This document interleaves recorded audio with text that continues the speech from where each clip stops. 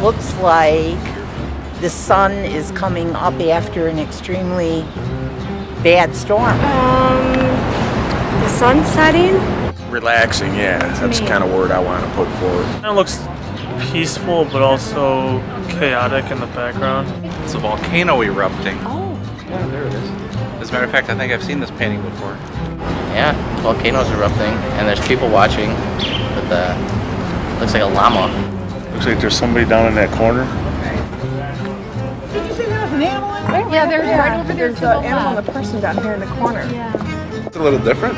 You know, you don't you don't really see it out and about like this. I think it's really full of, it's just full, really pretty.